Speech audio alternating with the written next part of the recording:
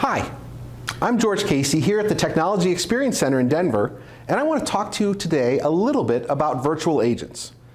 A lot of companies are using digital transformation to find new and better ways to engage with their customers, and virtual agents is a great way to do that.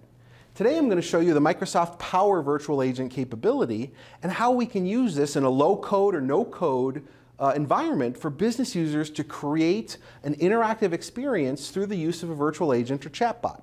So today I'm going to demonstrate that with RSM Bot. So RSM Bot, hi.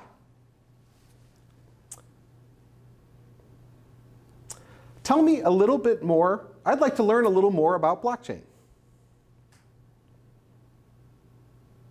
So the chatbot comes back and engages with me, and now it says, sure, RSM is a blockchain consulting practice with industry-leading solutions like ClearThrough, and it offers me the option to learn more from an expert.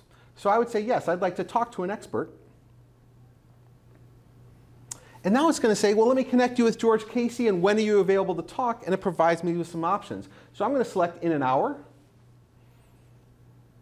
It says, great, please enter your email and we'll send you a meeting link in 55 minutes. Talk to you soon. So I'll enter george at rsmus.com.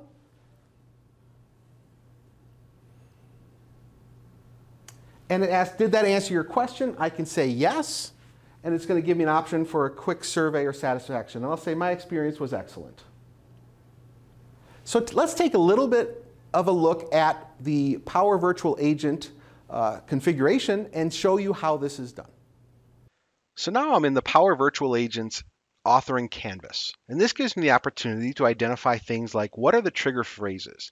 And what you'll notice here is there's no exact match for the phrase I used in our demonstration, but the system using cognitive services and text analytics can understand and infer what I was looking for, so it drops me down this path. In this case, because it identified I was looking for blockchain, it, it let me know that there's a blockchain solution. It gives me a hyperlink to drill directly to that detail and prompts me a question that would I like to send uh, additional learning resources. So now we said the, the next step is a multiple choice option and it gave me those options and you can see I can just edit those text options directly here in the canvas and then based on those conditions routes me to one of these three trees. Uh, and based on that outcome, in this case, since I said I wanted to expert, it brought up a new topic which we defined as escalate. And the escalate topic allowed us to create an additional flow step, which was going to send an email to the user in 55 minutes, like it said, and schedule uh, that appointment on the expert's Outlook calendar. So this is a quick example of how you can very quickly build that uh, message chain or that flow using the Canvas authoring app.